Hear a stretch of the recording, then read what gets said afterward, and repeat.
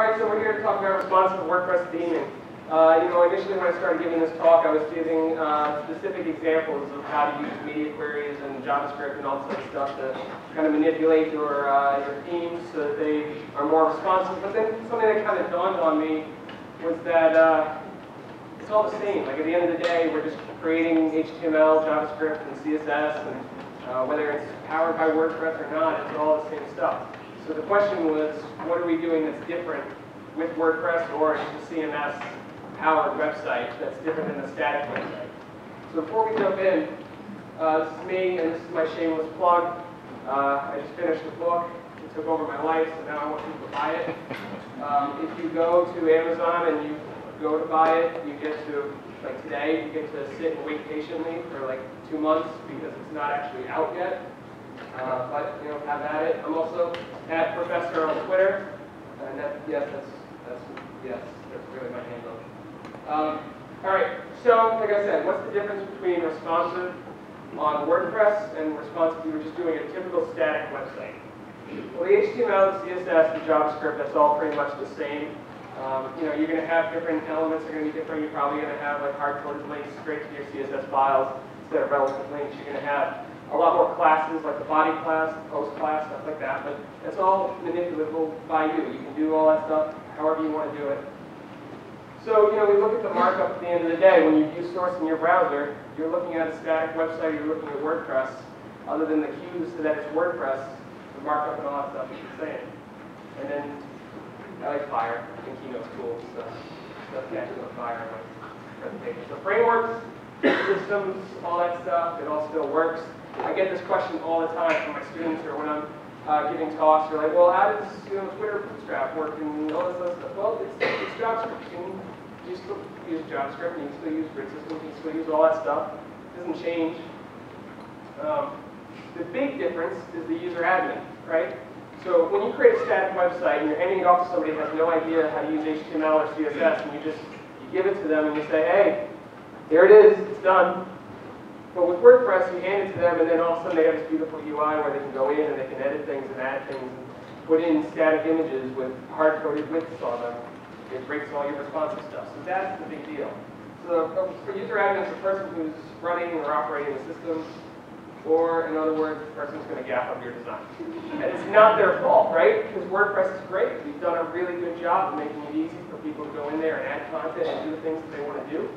Um, if there's any blog writers in here who don't know any HTML and they break stuff all the time, I'm sorry. But it's true. I mean, you guys don't have that HTML, CSS background, uh, and so things go in there and things happen, and you forget to close a tag or something, I don't know, and you break stuff. Um, but you know, work, um, and, and, this is the comparison I make to, to user admins uh, with new websites. It's like a, the little kid who opens up the Nintendo uh, system on Christmas and goes berserk. They're like, oh, this is awesome, you guys designed the greatest website ever. And it's powered by WordPress, which apparently is so cool, because you tell me it is. And now I'm going to go in there and I'm going to edit stuff, and then I get lost, and I stick my head in the box and I walk around the room like an idiot. You know, you got to provide that training, right? But there's some point where you can't provide enough training because you're not going to teach them how to do, how to write markup or how to do other things. So you have to kind of give them the tools to empower them to do things right. Keep grabbing that mic. All right. So WordPress as a whole is so easy that a, a man can do it. Again, you run into issues where even this guy breaks. So they're going to have some roadblocks, right? Uh, showing and hiding content based on the user device. So uh, Chris gave a great talk yesterday about uh, designing for mobile. And in many cases, there are times when we want to create alternative content for a mobile device or maybe switch it around, change the way it's laid out. Uh, you know, you may not want to show the full-size infographic that you have on a mobile device. Instead, you might want to provide them with a link to it.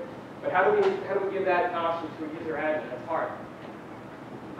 Uh, media and maintaining a fluid layout. So one issue that we continue to run into is that a user admin who doesn't know HTML, they upload an image, they insert it into the post, and what happens? You get those hard-coded width and height attributes right into the image, right? And so like if your site's expanding and contracting, it breaks. Uh, having multiple columns in a single content area, that's tough. because you have a single content window to put all that content into, and if you want some stuff on the left-hand column, some stuff on the right-hand column, how do you do that? How do you differentiate from what belongs on the left and what belongs on the right, and then what happens when you construct that, that website? And then menus. Uh, you know, I get a lot of flack for telling people that they should have different navigations for mobile devices, but I, I think it's important. You know, we talked about the restaurant themes uh, yesterday, Chris's talk, and how, you know, restaurants, if if you're looking at a restaurant website on your phone, you really don't want to know, like, who's running the joint. You want to know what their hours are, maybe some menu items, and that's it, right? So instead of providing them with seven or eight links at the top of the header of the mobile site, you provide them with directions and menu. And then you drop all that navigation down to the bottom. Again, easy for us if we know how to code, but how does the user admin take control of that? So the first thing I want to get into is featured images. I love featured images because I think it gives us the most control over our media, um, especially if you want to upload pictures of fast squirrels that love WordPress. Um, so, you know, what you can do is you can go into your functions file and you can add image sizes. A lot of people uh, may or may not know this. Uh, Just gauge the room real quick, how many people in here have written, like, their own functions in a functions.php file? Okay. How many people have, uh, like, altered a loop or tore it up and moved it around and stuff like that?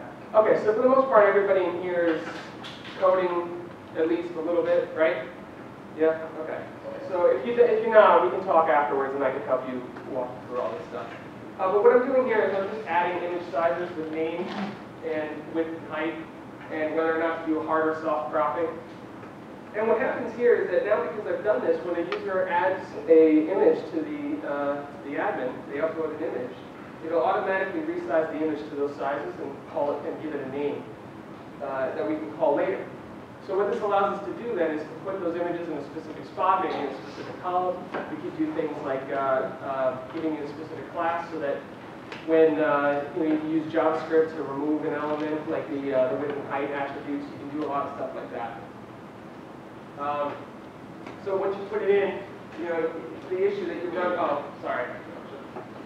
I'm going to talk about how we can um, manipulate this too and show different featured images. If you look, we have uh, slider, small slider, but these are all the same ratio. So what we can do then is decide which ones go where and which ones are served up at certain times. And I'll show you how to do that in a few slides. Uh, but this is a big step for us uh, in trying to maintain our, our uh, mobile integrity. Uh, the next thing is multi-column. Uh, on, this is my website, and what I have is I have a column here, and then I have this right-hand column here. Um, and then if you expand the browser enough, you get into three columns, right? So the comments that are down here get pulled up, and they're brought over here onto the right.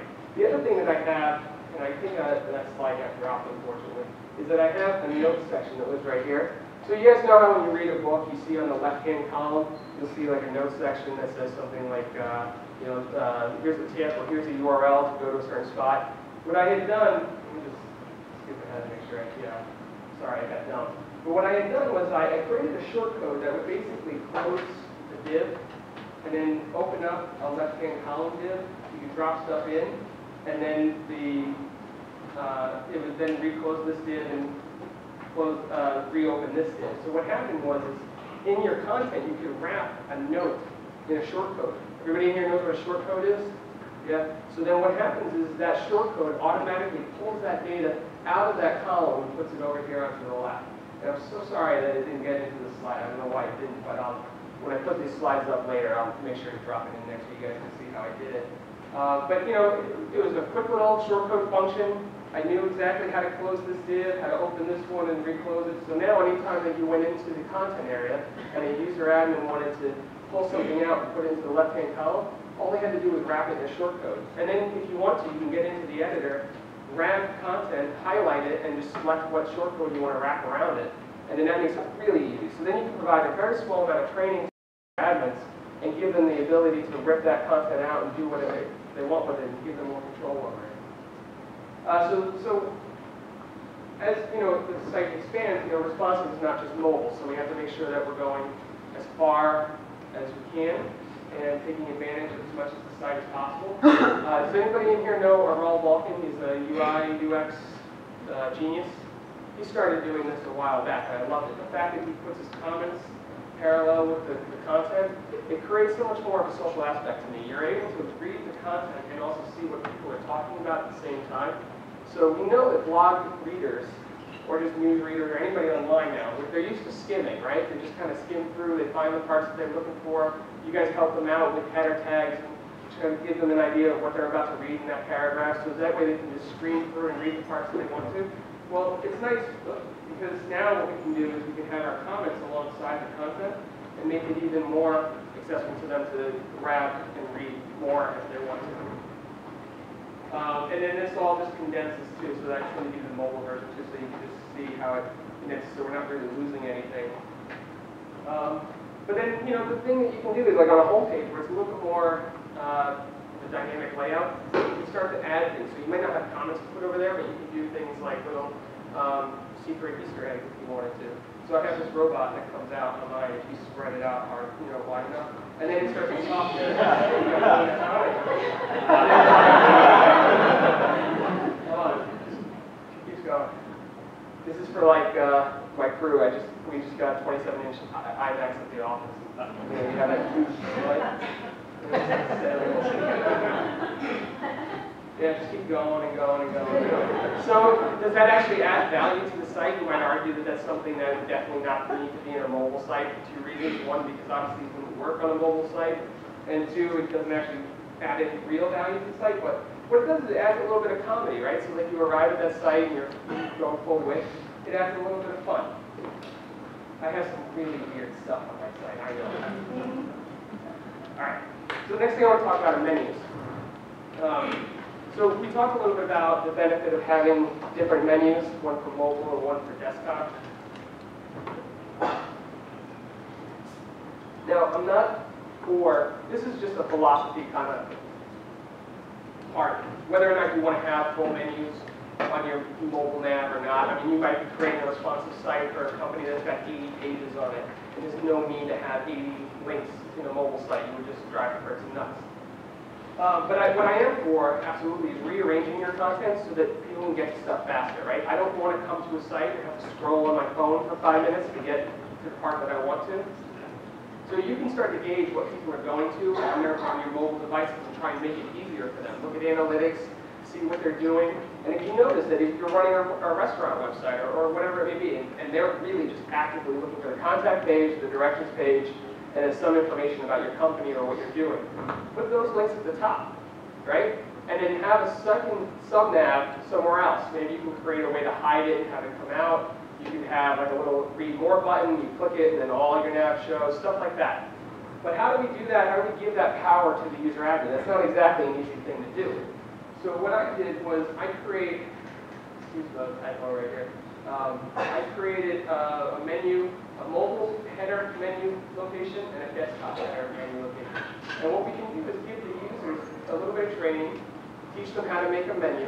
They can create their menus however they want, drag and drop them however they want. If your theme, your mobile theme supports children, then you can you know, create sub-items, things like that. And then just tell them that, you know, you create one small navigation for the mobile, and then you have a main one here for the desktop. And I'm going to show you in two seconds how you can switch between these menus um, based off whether you're a mobile or, not. But this is just one way to think about creating more empowerment for your user. So we got to remember the content is king, kind of the same things we're talking about. So everything that I kind of talked about was ways to empower them to fix this stuff, but now you've got to actually go into the themes and make sure it actually works, right? So on a mobile device, uh, wouldn't it be great on a server level, so you're not relying on the client side, you're not using display none or anything like that, that you could say, on a mobile device, do this. Else, do other this, whatever else that is, right? So we'll get to, a new um, function that's released, I think it's 3.4, uh, is WP is mobile, which used to be like WP is iPhone, I think. Um, and so you can write a simple thing that says basically, we talked about this earlier, if it's on a mobile, serve up one featured image, and if it's not, serve up a larger featured image. And that makes your life a little bit easier. And then you can do the same thing with menus. So you can choose which menu to show depending on whether or not they're on a mobile device or Um, but we can take it a step farther. What if you are at the server level able to say something like, is, is iPhone, is BlackBerry, is HTC, is Nexus, is Dell, da, da, da, da, da, da, da. Is iPad, is Kindle, BlackBerry tablet, I don't know who has one of these. What is this? Does anybody know what that is? Does anybody have one?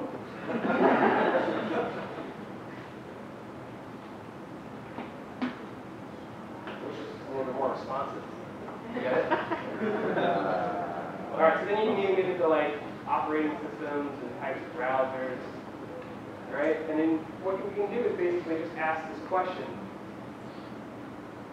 Is it any? Now this is like complete overkill. If you were going to go through your site and create a different experience for every single type of phone or anything out there, that'd be insane.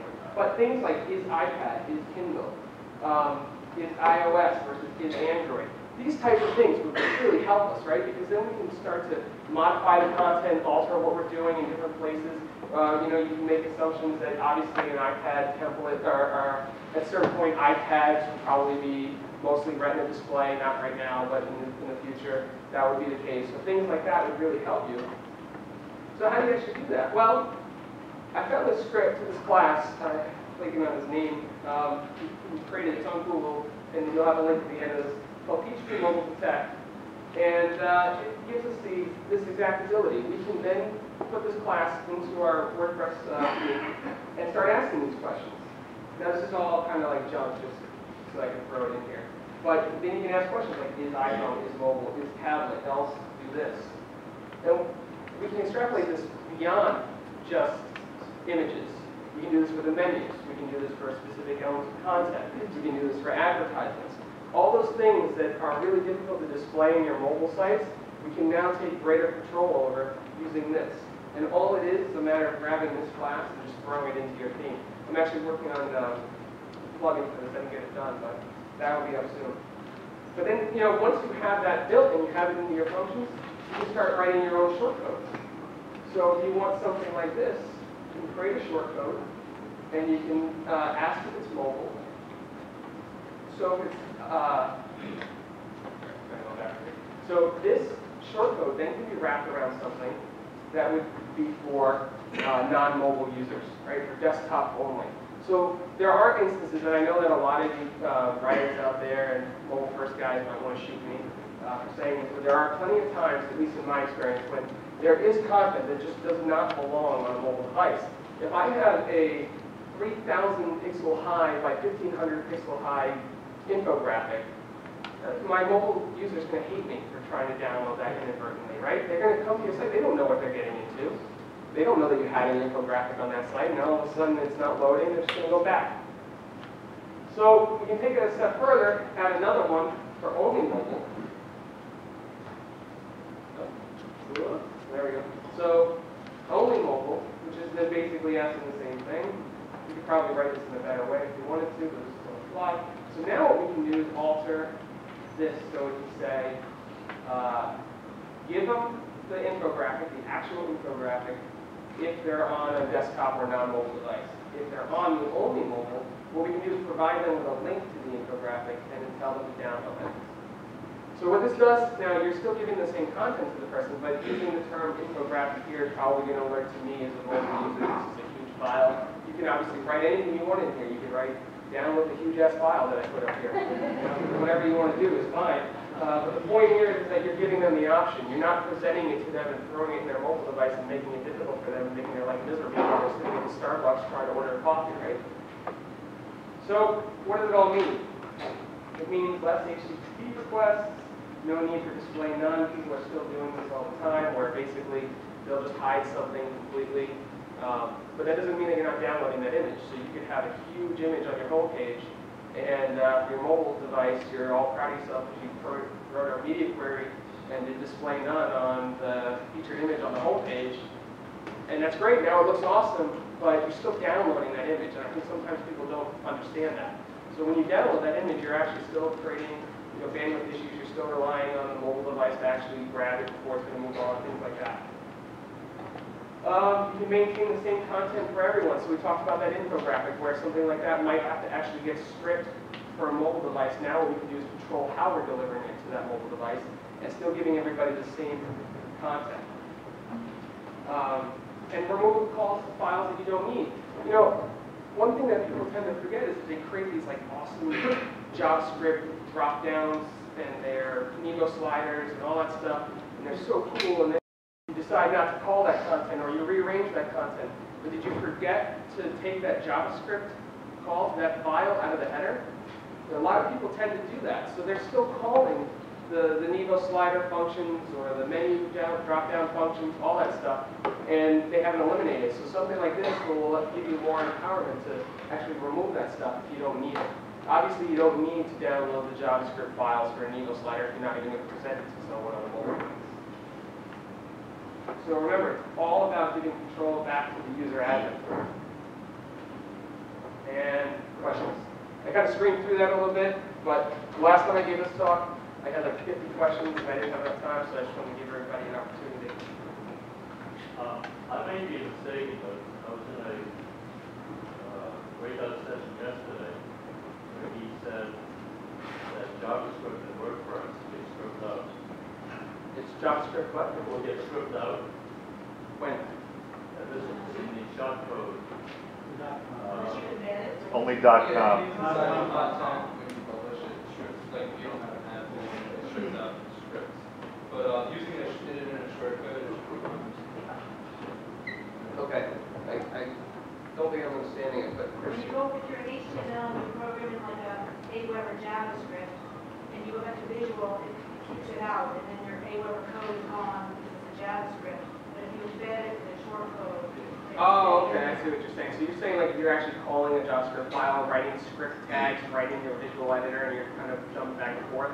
Absolutely, I'm not sure what I'm saying. I just- Okay. I just put that note, and that's why I'm waiting. I gotcha. Yeah, so if you write the, those short codes are built into the WordPress API, they're made to do that kind of stuff, so you can wrap that content with those short codes, and you won't ever lose them. You can put them in the visual editor or the HTML editor, it won't change anything. So it'll work either way. Yeah. So when you're writing the short code for the, the page reference, so the, the link or the image, are you asking your client to learn how to write out an image source, or if you press a button, it inserts it and inserts the code as HTML? That's a good question. So the question was, um, if you're writing that short code around like an image source tag, to, uh, are you relying on the client to understand that? And the question is, is uh, to, to understand HTML, not to write image tag. No, the, the- that was just a single example. But what you can do is you can give um, the them the knowledge of how to use a short code and how to you know encapsulate content and just wrap it around anything. And then it can be anything. So if they want to if they have something else for like an ad or, or whatever it may be, they can just wrap those short codes around literally anything in that content area, and it'll deal with it how it needs to deal with it. So the only thing you really need to train your users on, for example, an image, is how to do the typical insert image, insert it into post, and then once that's done, you can do one of two things. You can either just have them manually put a short code around it, or you can put it into the editor. I've seen that a lot. I haven't actually done it myself, but you can wrap, you can wrap, you know, highlight the content, go to the editor, and you'll see the short code waiting for you. You just put it and wrap it around it. Just based on the question, it sounds like some folks aren't clear that although uh, strips are stripped out of a normal post or page, that the short code is a mechanism for defining a short code, and then, uh, which is like calling a function on a page, the short code can have parameters, and the, the short code calls the script that then gets rendered as script, yeah. and you can set it up so your, your, your clients, you can show them, if you put in this short code and then reference this thing in it, that will embed it, but that's how short codes work. Yeah, so short codes are, give you guys the ability to give your clients the ability to call a function. It can be pretty much anything. It doesn't have to do it the exact way I did it here. You could have a short code, what I give to uh, my team all the time is the ability to call the blog URL into the content, because if you're working on like a local host environment and you're linking hard, hard-coded links to your other pages, and it says something like HTTP localhost slash, you know, whatever it may be, and then you go to put that on a live site, you then have to circulate, you know, you could go through all that content. So what you can do is create a simple like little short code that says like site URL, and it just prints the URL right into the content. So short codes can pretty much be anything you want them to be. Um, they're just the ability for someone to call a function. And there's two types of short codes. One that's just a regular square bracket short code, and then there's the ones that kind of wrap around content, and then you can filter that content and do something with it. So you can remove it completely. You could um, uh, add content, so you could add like span tags around it so that it highlights a certain way. Um, you know, if you're if you're creating a very heavy, heavily designed site and you're doing like special fonts and things like that, you know, you can create short codes to wrap uh, like an item with a class so that you can, you know, you can do anything you want with it. Yeah. Are there any performance considerations that are involved in short codes? or The short codes? Yeah. Um, I mean, well, it's, it's all, it's all done before the site's, uh, presented to the user. I mean, it's not, it's not, uh, no, I don't think so. Andrew's in the room, I think, right? No? So I, I'm wondering, when you were uh, talking about uh, serving the infographic to a desktop user but not to a mobile user, how do you treat tablet? Is an iPad a mobile device or is it a uh, It really comes down to your exact demographic. I mean, if you have, uh, the question was, is a, is a tablet device really like a mobile device and whether or not you want to give them big stuff? Um, you know, I mean, an iPad can still run on 3G, right? So you can still run into bandwidth issues and all that. Uh, it's kind of like a per case basis. You have to decide what makes sense for you and your client and all that. Uh, I'm opposed to putting any huge infographics like that unexpectedly on any device other than a desktop. Uh, the thing is, it's like non-user initiated content. Remember back when we used to play videos without giving clients or users the permission to hit play, we would just start playing those, or you guys have no idea what I'm talking about. um, or like uh, audio that would just start blasting on your, you know, we kind of all got away from that. But now, you know, serving this kind of stuff up on a mobile device is still like non-user initiated stuff, so you're not giving them the chance to choose to download something. So you I'd don't use them the MIDI choice. files anymore? What's that? You don't use MIDI files anymore in your pages?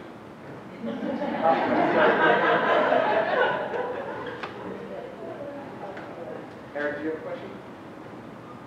Can this be Street, in the back end without using short code.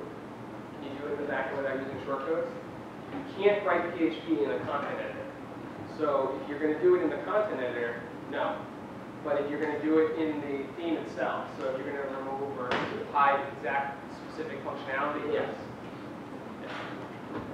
I think Chris had mentioned in an earlier presentation that when, um, suggestion about using short codes for non-static short codes versus plugging short codes that maybe plugging short codes would have a preferable solution to that you can then re-scheme something, re-clean something. What, what, how would you respond to that idea? Well, so you're talking about, um, so basically like someone to switch themes and all that functionality disappears?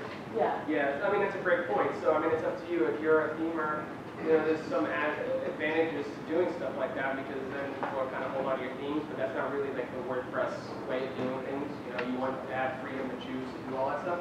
So that's, that's why I would suggest making this into a plugin. And it's very easy to do that. And it's something I'm actually, I just haven't had the time to do, but we'll, we'll be getting it done soon. So can you So reiterate? that once it's a plugin, it'll be theme independent, and then you Oh. can have seven, you know, you can choose to have seven themes over the next year, and it would all still work just fine. Oh, okay. Uh, For responsive design, uh, I I know there are a lot of ways to do it, but what are your recommendations for like embedding stuff? Like when you embed like YouTube or like Google Forms, Yep, sometimes they don't act properly yep. when you like look on mobile or when you like minimize something. So what are your recommendations for like embedding? Well, you know, it's, it's hard because you're, the question is, how do you, um, how do you manage things that are being embedded from like third-party sites like YouTube or Google Forms and things like that, and they're not kind of playing nicely? Um, you know, sometimes you can work to figure out a fix for it, and then uh, override it with JavaScript. So there was this plugin that I wanted on my site that would add a, uh, a social sharing link, but for some reason they would hard code uh, the iframe width or the icon on it, and it drove me nuts. So uh, I didn't want to hack up the plugin, and I didn't have time to do it right, so I just wrote a quick line of JavaScript that stripped out that hard coding, and then it, it worked perfectly. So So, like a, when you're done with the project and a client all of a sudden wants like a Google Form embedded.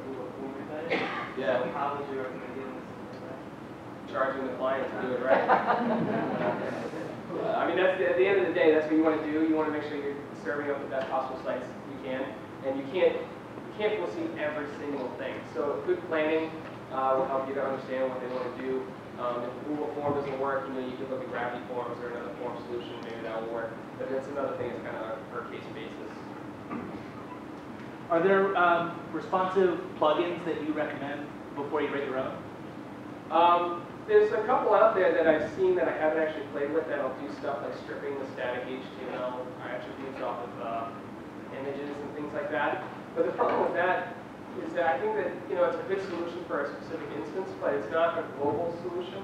Because if you're a user admin and, and you put an image in there and you align it left and you look at it on your desktop and it's 50% of the width and your text comes up alongside of it nicely, and it's 300 pixels wide, and when your column dumps down to 200 pixels, it breaks, you have and it strips out the attributes, now what? It's, not replacing it with like a pixel-based, I mean, a percentage-based width, so then, then it's not loading correctly anymore either. So I think it's one of those situations where, um, for that exact instance, needs to be a better solution, but I haven't seen too many plugins that I played with that I was like, this is making my life a lot easier. That's also because I just haven't looked outside what I'm doing, I guess. What is your opinion about um, drag and drop control panels, which you give to your client, like, uh? If, uh, page- page line tab, for example, what I found, they're not responsive, they're really work great, and the client really understands how to drag and drop change different sections of the website, but whenever they try to make it really responsive, it becomes so complicated that the whole interface, that client has got lost. So Yeah. what's your, uh? So I don't have a lot of experience with like drag and drop content elements like that, um, but at the end of the day, do you still have control of how the HTML is output? Yeah. Yeah, so I mean, you can take control of it from that point. So it may not necessarily, I don't know how it would work for you when you're dragging content in, so basically you're dragging like whole content blocks into an area? Well, yeah, basically it's a short post, but they are uh, presented in a visual way, more Okay. appealing. You know, like if you want to put a testimonial on the page, you just select the testimonial, drag it and drag it onto. Yeah, so, but if you have control over the way the testimonial markup is graded in the end, then you can take control of how it will be responsive. So as long as you have control of the output, then you're fine. Are you dealing with, uh, the drag and drop section of it being responsive? So like while they're actually dragging, you worry about being responsive? Yeah, the problem is when you're dealing with desktop only version, Yeah. is, you know, you do find a layout like two columns or three columns, you can drag and drop, basically all the clients can create as many pages as they wish. It's sort of a side builder inside the WordPress. Yeah, I get But that. whenever they want to to make it responsive, you know, because you, you you never know what, what kind of resolution there would be on mobile device, just breaks up, you know? And Right. PageLine did a great effort to try to, you know, to maintain that, but just, you know. it- But you're not dealing with people on the phone trying to add those testimonials, right? They're only doing it on Yeah. that stuff. Yeah, so again, it's, it's all about the output, and if you can control it, then you can do whatever you need. Yeah. Yeah. Um, the PHP mobile detect that you showed, is the breakpoints for that being defined in your CSS or media queries or No. So It's where is, all, so the question was, is the PHP mobile detect where the breakpoints? are? actually there are no breakpoints. Uh, what it's doing is it's, uh, pulling the server to decide what kind of, uh, if you're on a mobile device, if you're on a certain operating system, things like that. And, uh, it's just a PHP class that you can actually just put right into your functions.php file, and it's pre, uh, side. So it's all while the server is just communicating back and forth. Does that make sense? Yeah, it makes sense, I'm just wondering how it's, It's Or not is it deciding, even it's not device deciding anything based off of resolution or size, it's only deciding based on is an iPhone or is it, like, is a desktop? So you ask those conditional questions. So you're not asking, like, is it on a desktop and less than six hundred pixels wide? That you would still control with your CSS or however you want to do it. Yeah. I got like four minutes, so we have a couple more questions or we can wrap it up. I just have one question, and that was, it looks like with those scripts, uh, the, the PHP functions, it's doing browser detection. And I've always been trained to not do browser sniffing, but instead to actually determine what the capabilities of the browser that's visiting me. Uh, like, can it do rounded corners? Can it do a passkeys versus alpha layer? Is this a movement back to browser sniffing? Well, it's using the server array to decide, decide, there is the option for uh, iOS, the, um, the browser type, all that stuff. So it's not a movement back to that, but there are cases where you just need to know flat out, are they on a mobile device or are they not? So it's not about capabilities, because, you know, when you're serving up an infographic or not, you're not deciding, you're not running like tests about their bandwidth and see how much they can download or whether or not they want to decide to have that or not. You're just deciding whether or not you want to give that to a mobile person or not. And in an instance like that, I just prefer to give them the option to download it. So it's not so much about like moving towards back toward browser sniffing versus capability. It's just, it's just trying to provide solutions for the user admin so that they can take more control over their content. Thank you. Yeah, for sure. That's it? All right, so if you guys have any other questions, I'm doing the happiness bar, I think it's four today. You can hit me up there or on Twitter, wherever. Thank you. Show the URL.